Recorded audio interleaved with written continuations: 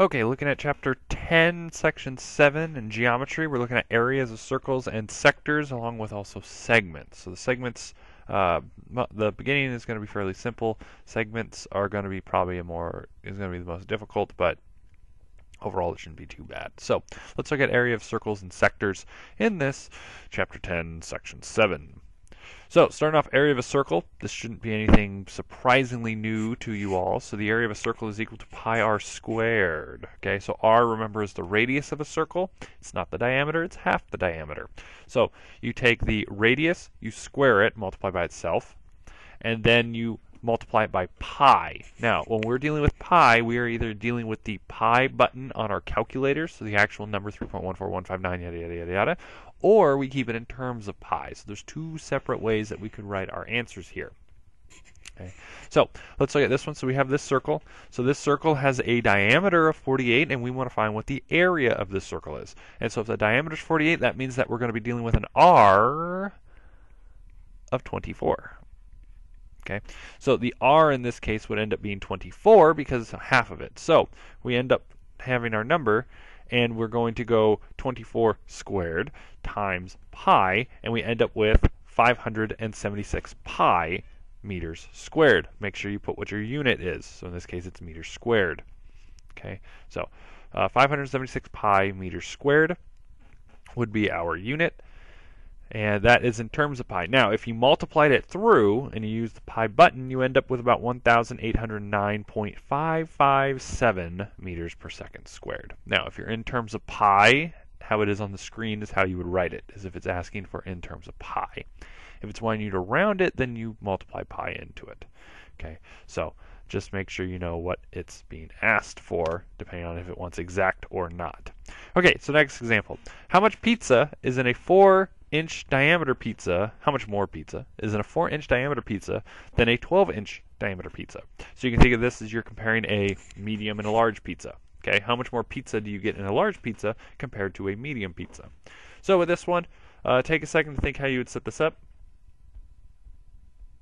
Okay, so what you would probably want to do here is you'd probably want to take the larger pizza and subtract out the smaller pizza to see how much is left over. And it's not just going to be, oh, well, it's two inches difference, and it's just going to be pi. No, it's not going to just be pi. It's going to be larger than that.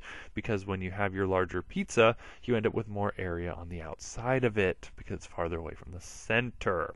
So what we would do here is that we'd end up taking the larger pizza, finding the area of it. So if the diameter is 14, that means that its radius would only be 7. 7 squared is 49.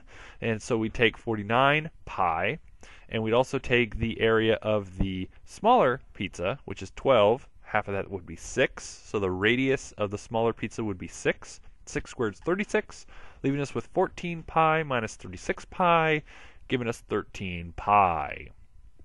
So that means that our difference between the medium and the large pizza is about 13 pi inches squared, which multiplied through gets you about 40.84 inches squared. Okay, so as you see, that larger pizza is actually fairly larger and not just a little bit larger than the smaller one. Okay. Okay, next up is a sector. So a sector, what we could be thinking of here is that we're trying to find the area of a slice of pizza or a piece of pie. Okay, so we're trying to find the area of a piece of pie that we have instead of the entire pie. And so what we're going to do here is that we're going to use the formula up above, which I wrote out as ACB, is equal to the measure of arc AB, okay, the measure of arc AB, which is going to be your central angle. So basically your pizza or your pie, whatever that slice is, how big is that angle at the point? The bigger the angle, the larger the area. The smaller the angle, the smaller the area. We take that, divide it by 360, and then we multiply it by the area of the entire circle. Because if I only have, let's say, let's say that angle is 90 degrees, 90 over 360 is a quarter. Well, 90 degrees is a quarter of a whole pizza. And so if I only have a quarter of a whole pizza, I end up with my answer. So with this one, I have a radius of 5 inches, because that's how long each side of my piece of pumpkin pie, best pie there is, um, for this. And so you multiply it and you find your area. Uh, so it'd be 5 squared times pi, so 25 pie. But then we have to multiply that by 30 over 360. Okay, so find the area of the pie. So that would be, the part I underline would be the entire area of the whole pi. And then we go 360 over, or 330 over 360, which reduces down to 1 12th. And so we end up with 1 12th times 25 pi, which gets us 25 pi over 12 or 6.545 inches squared. So that pie, the surface area, the top of it, is approximately 6.4, 6.545 inches squared. So when we want to find the sector, we have to divide the entire area by how much of the circle we are dealing with. Okay, the last one is our segment. Now this is the most complicated one, and this formula is basically just go plug and chug. So this right here and this right here are going to be the same number. Okay, you want to make sure your calculators are in degrees because we're not going to be dealing with radians on this. So make sure it's in degrees. The way to check it is push sine 90 and you should get 1. If you don't, you're in radians, which means you got to switch it. So we're just going to plug everything in. So we need to know what the radius is, and we need to know what the angle is. And once we know that, we can find the segment of a circle. Now, a segment of a circle is that green segment right there. So it's kind of like the fingernail part of a circle. And what ends up happening is that you take the area of a sector, and then you subtract out the triangle that's formed right here. Okay, so you end up subtracting out that triangle. This is just a formula, so you just have to plug it in, so you don't have to do two separate formulas. It's just one big one. Plug it in piece by piece. So in this case, the R is 2, and the M arc AB would be 80, because that's the central angle. So we'd plug everything in, and we'd start simplifying it. Okay, so it'd be 2 squared, blah, blah, blah, blah. You end up all the way down to 0.8229 inches squared, and that would be the area. So again, what I would do is I do it piece by piece.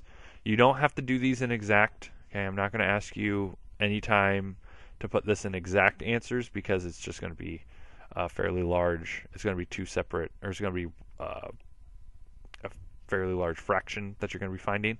Uh, so just put it in, um, estimate what it is, multiply pi into the answer to see what you get. And as you see, you should get that. Okay, so in this example, it'd be 0.8229 inches squared. Okay. All right, so take a minute, find the area of this segment that we have for this circle. Okay, so you should have plugged in 16 in for the r squared, or into r, and then you should have plugged in 135 in for AB, MAB. And when you do that, you end up with an answer of approximately 211.072 units squared. As you see, this part right here is the whole segment in parentheses. So as you see, I did that whole segment first, got my decimal, then I just multiplied all three of those numbers together and I got my answer. That's one way of doing it. That would probably be the easiest way, is to deal with all that sine, that pi, get a decimal, and then you just have to do a straight multiplication. Okay, just to make life easy, break it down in parts. This formula should get you the same, the correct answer every single time. All right.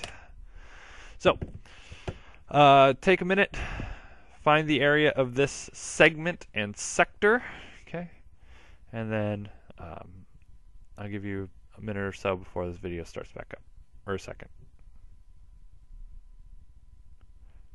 Okay, so uh, you should have gotten your answers for those. You can check them, okay? But it's just going to be plugging into your answers um, and getting them. So uh, this is your homework from this section, 577, numbers 2 through 22 evens.